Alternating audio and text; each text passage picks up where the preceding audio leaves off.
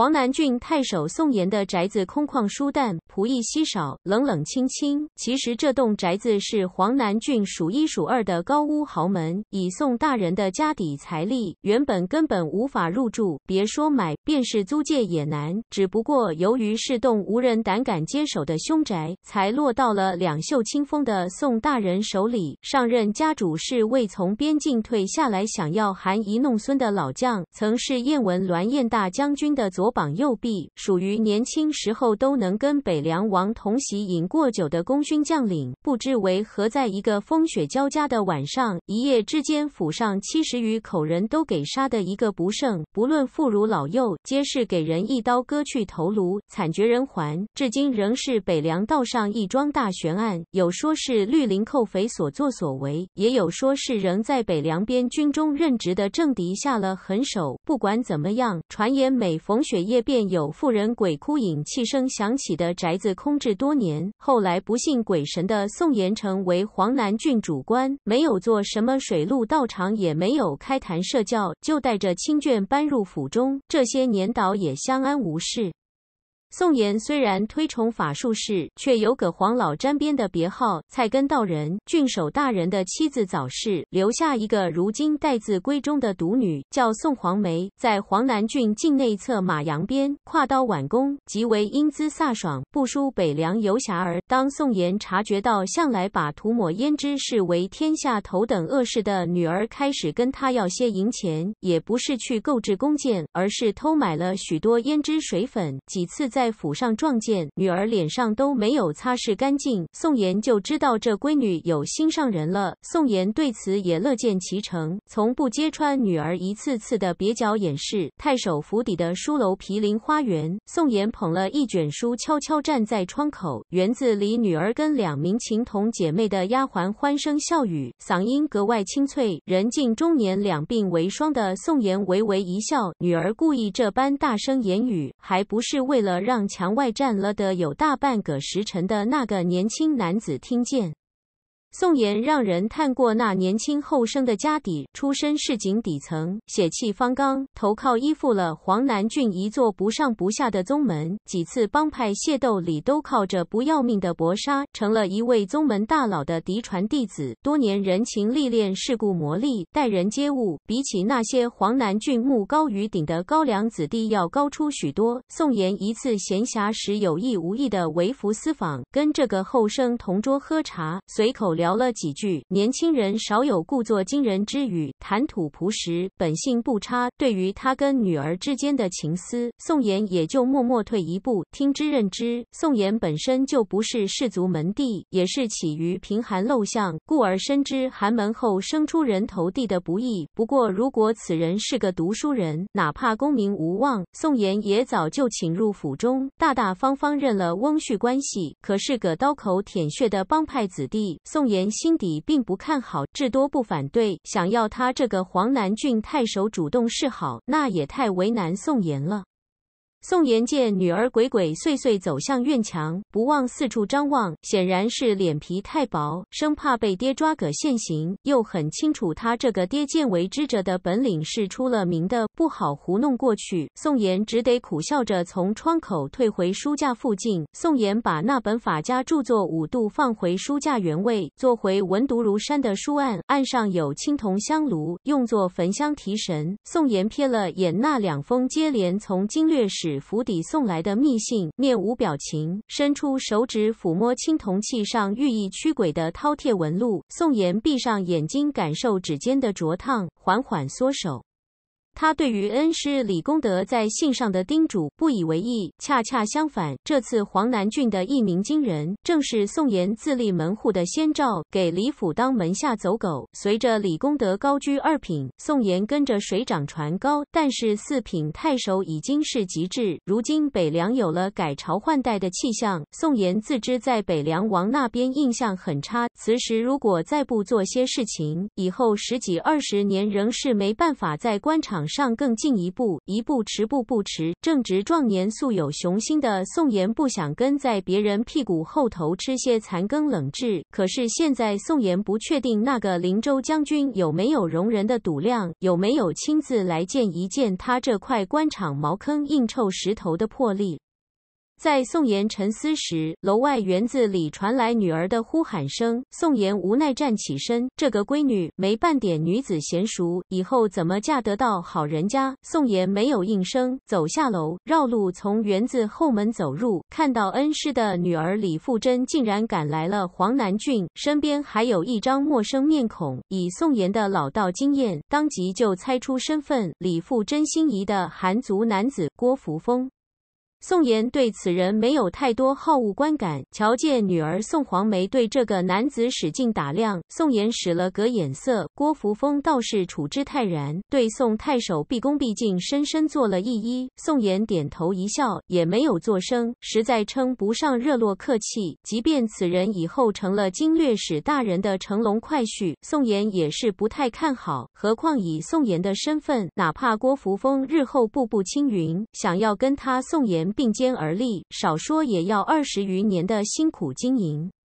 李富珍牵住小他几岁的宋黄梅，但神情紧张。这是他第一次带着郭福峰出现在父亲门生面前，别人还好说，兴许会卖他经略使之女一点面子。宋妍在李系门生故吏里本就以不近人情著称，很怕太守大人直接板着脸就下了逐客令。这次赶赴黄南郡密会宋叔叔，是爹委实没有办法了。不知郭福峰怎么得到了小道消息，跟他磨了。了半天嘴皮子，说了许多挖心掏肺的良苦用心，李富珍这才犹犹豫豫带上他一起前来宋府。他与宋黄梅打小就关系不错，一直被这丫头当妹妹看待。宋太守宠溺女儿，世人皆知，而这丫头又跟一个身世比郭福峰还不如的江湖儿郎关系晦暗，这也是李富珍敢壮着胆子让郭福峰正式在灵州官场水落石出的关键所在。只是想到这。这里，李富珍又有些无处倾诉的难言悲哀。什么时候他也要如此处心积虑去了？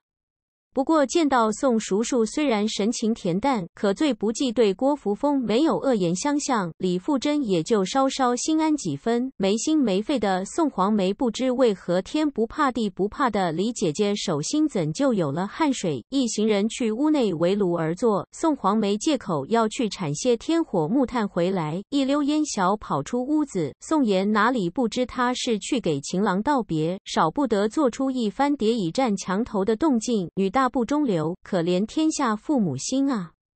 宋妍才落座，便接到几封管事送来的名帖，都是黄南郡世子晚生来请教经世记名的学问，实则不过是拜谒他这个太守大人，以便混个熟脸。宋妍让管事递还门状，还顺带回赠了几本书楼藏书。那几人没能见上面，但也算是乘兴而来，乘兴而归，少不得跟同辈炫耀。宋妍随手处理了这桩小事，望向李富珍笑道：“宋叔叔的俸禄都拿去买书了，家里都快揭不开锅，想要在这边大鱼大肉可就难喽。”李富珍历来不善应酬，只是展颜一笑。郭福峰不愿当陪衬，主动开口说道：“历朝历代的藏家子都爱书如命，而且信奉借书如借妻，还不如直截了当赠人书籍，犹如风流名士赠人美妾，传为美谈。太守大人深谙其中三昧。”宋妍神色淡然，置若罔闻，没有附和。郭福峰脸皮也厚，全然不觉冷场。才略微松口气的李富珍就又有些坐立不安了，生怕郭福峰不知官场规矩忌讳，惹恼了性情寡淡的宋妍。好在宋黄梅适时端来一盆黑炭，无形中帮他解围。宋黄梅在自己家里言谈无忌，皱眉道：“爹，铁爷方才跟我说，墙外街上来了几个外地人，耐着不走有些时分了。大冬天的，在空荡荡的巷弄里做什么？莫不是歹人？”宋妍轻声笑道：“大路朝天，爹就算是太守，也管不住行人的腿脚。有人乐意在墙外挨冻，就算待上个把时辰，爹也不能拿头上的官帽子去仗势赶人。”宋黄梅咂摸出爹言语里的味道，脸蛋蓦然一红，低头拨弄炭火。府上管事站在门口，有些惊慌失措。宋妍起身走到屋外，闻讯后不动声色，转身对李富真说了一声：“有些紧急公务缠身，再让宋黄梅帮着招呼客人。”等太守大人步履匆匆离去，脚步渐渐消失。郭福峰低头伸手烤着炭火，脸色有些阴霾。仰起头去看李富珍与那太守女儿两张各有千秋的俏脸，窃窃私语，说着亲昵的闺房密语。郭扶风也是迅速转变为笑脸温暖，没有因为郡守大人的怠慢而心生不满。李富珍与宋黄梅说完了女子悄悄话，就开始欲言又止，眼角余光瞥见郭福峰不容拒绝的眼色，这才说道：“黄梅，你知不知道黄南郡有多做不合理制的淫寺，被人捅到了我爹那儿，说是宋叔叔非但没有禁绝，反而任其香火鼎盛。这几座祠庙其实都被人暗中操纵，成为敛财的手段，有伤风败俗之嫌。我这趟来这里，就是想跟宋叔。”如数知会一声，宋黄梅惊讶啊了一声，然后眯起眼眸人笑道：“什么伤风败俗？反正咱们北凉就这样了，有啥风俗好去败坏的？再坏也坏不到哪里去。我看那些刻意诋毁、重伤我爹的混蛋，就是吃饱了撑着，要么是怕我爹的位置太稳固，我爹不挪窝，他们就没法子往上爬升了嘛。升官发财，不升官哪来的发财？说到底都是银子给闹的。”我在酒楼听说，林州几个郡都把矛头指向那位林州将军，故意把水搅浑。也就咱们黄南郡太平无事，我爹可不就成了箭靶子？李富真嘴角泛起苦笑，郭福峰瞧了这姑娘一眼，有些惊奇。宋黄梅有意无意斜眼了一下气态风雅的郭福峰，对李富真说道：“姐姐，翰林哥如今可真是了不得，出席的无法无天，都当上了边境上游弩手的标长。听说杀了醋以百计的北莽蛮子，马背上都挂不下头颅了。翰林哥哥今年回家过年嘛，要是回来，千万记得要请他来我家做客。我的跟翰林哥哥说一说，我心中滔滔不绝的仰慕。”男人可不就得跟翰林哥哥这般去沙场杀敌，否则就不算男人了。听到这几句旁敲侧击，郭福峰心中冷笑，脸面上依旧平静。李富真小心翼翼看了眼郭福峰，转头牵强笑了笑，说道：“咱们出门转一转。”郭福峰自然而然留下。姐妹俩出门以后，李富珍伸手拧了拧宋黄梅的耳朵：“死丫头，都敢教训起姐姐来了！先前不是给你在信上清清楚楚写了，不要给她摆臭脸，你倒好。”宋黄梅撇嘴道：“反正我第一眼就不喜欢那人。我爹说读书人不能有太多奴骨酸气，这样的读书人没啥大出息。我瞅着那姓郭的，就两样毛病都不缺。姐，你听我一回，你当初都拒绝了咱们那个北凉混世魔王，多解气的壮举，怎么到头来越来越不济事了呀？如果早知道是这样，还不如当时就从了姓徐的色胚，以后当了樊王侧妃，咱们经略使。大人还不得笑得嘴角咧到后脑勺啊！再说了，翰林哥哥都能浪子回头，指不定那姓徐的哪天也能幡然醒悟，真去边境上阵杀敌。当然啦，我觉得以那无良家伙的秉性，要他去跟翰林哥哥那样亲手杀人，难如登天，也就只敢欺负欺负女子了。我真不知道当下那些人给他说好话的家伙到底在想什么？什么北凉老族公送入京啊？什么去闯了北莽一趟啊？什么在黎阳江湖上掀起腥风血雨啊？谁信啊？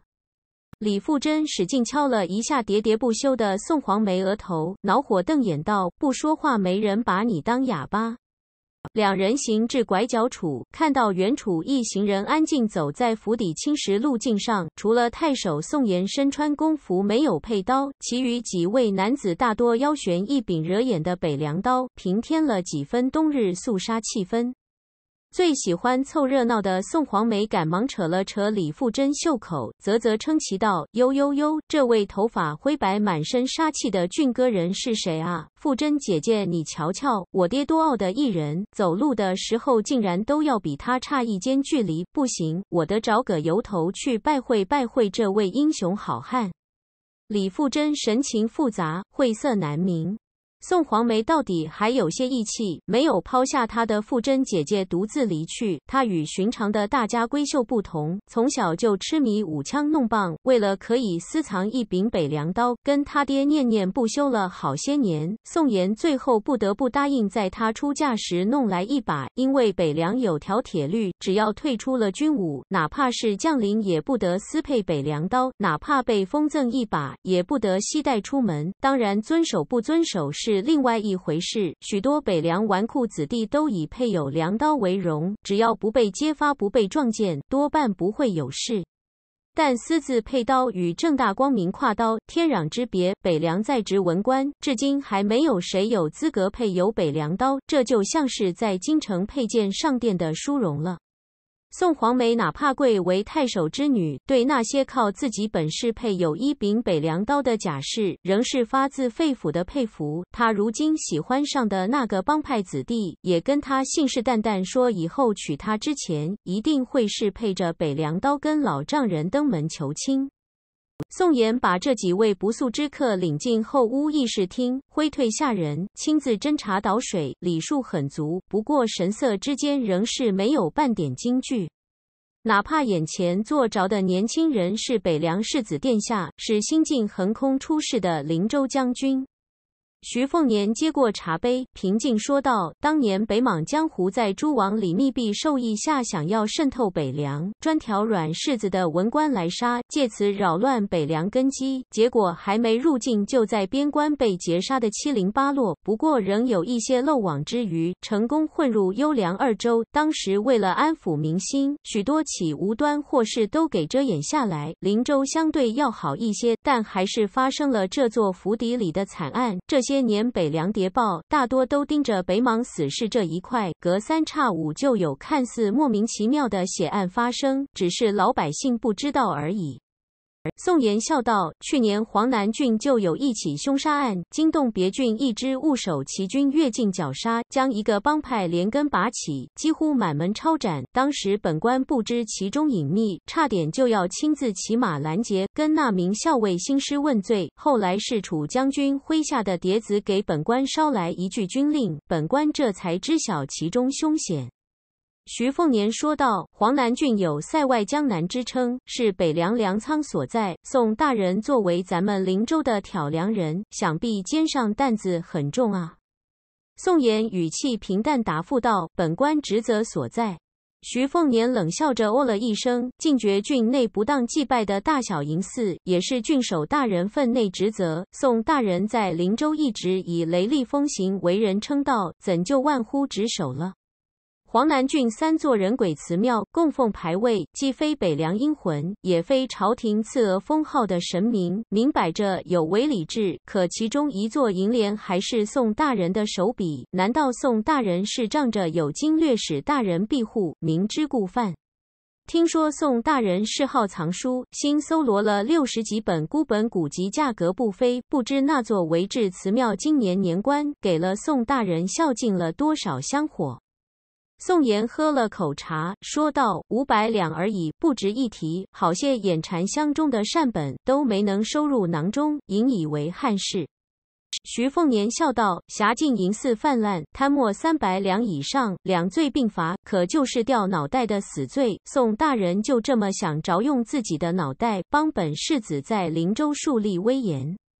宋妍不愧是林州茅坑里那块又臭又硬的石头，竟是笑道：“既然殿下带刀登门，宋妍也认了罪，那也就是一刀的事情。”徐凤年放下茶杯：“你我心知肚明，你这回忤逆经略使大人的意愿，有心要浮出灵州官场水面，让我好留意到你这个曾经惹恼徐骁的家伙。”你遇到当官的瓶颈，想要改换门庭，好更上一层楼。我在灵州也四面树敌，束缚手脚，急需一人打破僵局，就需要你这个官职不小又有些声望的黄南郡太守。只要你愿意在黄南郡揭竿而起，让外人误以为是经略使下定了决心要向灵州将军低头，那么很多虚力就会失去地收敛小动作。毕竟真要被秋后算账、出主意的大爷们手。脚干净，亲手做脏活的，他们保不齐就要吃不了兜着走。虽说法不责众，可杀鸡儆猴谁不会？总归是要有几只运气不好的鸡被拎出来。这帮刁钻油滑的刀笔小吏，其实心底也怕。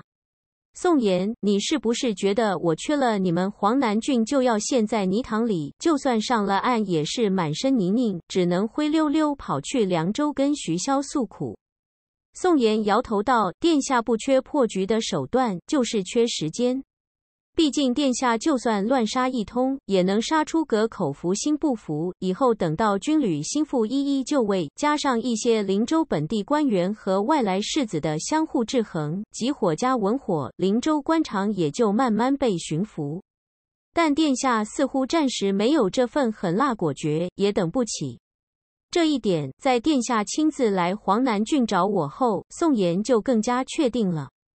见徐凤年不说话，宋岩继续缓缓说道：“如果我做了灵州刺史，既可以给殿下当扫除污垢的马前卒，也可以明面上安抚经略使大人，双方都有台阶下，暗中削弱李大人在灵州的掌控。”徐凤年笑着打算郡守大人的言语，太守大人高估自己了。灵州刺史只能是徐北指，不是你宋岩，你至多当个灵州别驾。不过本世子倒是可以跟你说句敞亮话，以后哪天徐北指成了北凉道经略使，你有希望担任灵州刺史。不过那还早，你有的等了，因为北凉不会去动有功无过的李大人。徐李两家积攒了两代人的香火，不说李大人的苦劳，仅凭我跟李翰林的交情，就足以让经略使大人过足观瘾。而且卸磨杀驴的缺德事情，还是能别做就不做。当然，你宋岩要是真有本事，有徐北指挡在你身前，灵州刺史做不成，但还有优良两个刺史座椅去让本世子斟酌斟酌。黎阳三十州，咱们别去说徐北指这个异类，你促一促，有几个不到四十岁？宋大人，你就知足吧。